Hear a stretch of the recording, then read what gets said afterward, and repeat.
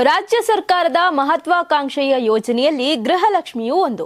ಸದ್ಯ ಈ ಯೋಜನೆಯಡಿಯಲ್ಲಿ ಸುಮಾರು ಒಂದು ಪಾಯಿಂಟ್ ಇಪ್ಪತ್ತೊಂದು ಕೋಟಿ ಜನರು ಫಲಾನುಭವಿಗಳಾಗಿದ್ದಾರೆ. ಹನ್ನೊಂದು ತಿಂಗಳುಗಳ ಕಾಲ ಯಾವುದೇ ಅಡ್ಡಿ ಇಲ್ಲದೆ ಗೃಹಲಕ್ಷ್ಮಿಯರಿಗೆ ಹಣ ರವಾನೆ ಆಗಿತ್ತು. ಈ ನಡುವೆ ಗೃಹಲಕ್ಷ್ಮಿಯರಿಗೆ ಕಳೆದ ಮೂರು ತಿಂಗಳಿನಿಂದ ಹಣ ಸಂದಾಯವಾಗಿಲ್ಲ. ಇದು ವಿರೋಧ ಪಕ್ಷದವರ ಟೀಕೆಗೂ ಕಾರಣವಾಗಿದೆ.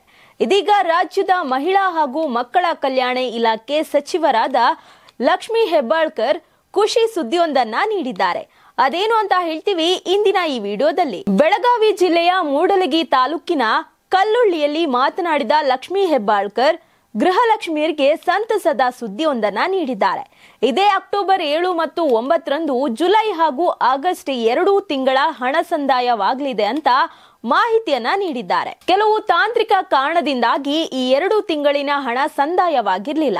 ಸದ್ಯ ದಸರಾ ಹಬ್ಬಕ್ಕೆ ಮುಂಚಿತವಾಗಿಯೇ ಮನೆ ಯಜಮಾನಿಗೆ ಗುಡ್ ನ್ಯೂಸ್ ಒಂದನ್ನ ನೀಡಿದ್ದಾರೆ. ಆ ಮೂಲಕ ಎರಡು ತಿಂಗಳಿಗೆ ಹಣ ಕೇವಲ ಎರಡು ದಿನದ ಅಂತರದಲ್ಲಿ ಸಂದಾಯ ಮಾಡುವುದಾಗಿ ತಿಳಿಸಿದ್ದಾರೆ. ಸದ್ಯ ಈ ಭರವಸೆಯಿಂದಾಗಿ ಗೃಹಲಕ್ಷ್ಮಿ ಯೋಜನೆಯ ಫಲಾನುಭವಿಗಳು ನಿರಾಳರಾಗಿದ್ದಾರೆ. ಆದರೆ ಸೆಪ್ಟೆಂಬರ್ ತಿಂಗಳಿನ ಹಣ ಯಾವಾಗ ಬಿಡುಗಡೆಯಾಗುತ್ತೆ ಎಂಬುದರ ಕುರಿತು ಲಕ್ಷ್ಮಿ ಹೆಬ್ಬಾಳ್ಕರ್ ಯಾವುದೇ ರೀತಿಯ ಮಾಹಿತಿಯನ್ನ ನೀಡಿಲ್ಲ. ಸೆಪ್ಟೆಂಬರ್ ತಿಂಗಳ ಹಣ ಯಾವಾಗ ಬಿಡುಗಡೆಯಾಗುತ್ತೆ ಅನ್ನೋದನ್ನ ಕಾದು ನೋಡಬೇಕಿದೆ. ಗೃಹಲಕ್ಷ್ಮಿ ಯೋಜನೆಯ ಅಡಿಯಲ್ಲಿ ಒಟ್ಟು ಒಂದು ಪಾಯಿಂಟ್ ಎರಡು ಎಂಟು ಕೋಟಿ ಫಲಾನುಭವಿಗಳು ಅರ್ಜಿ ಸಲ್ಲಿಸಿದ್ರು.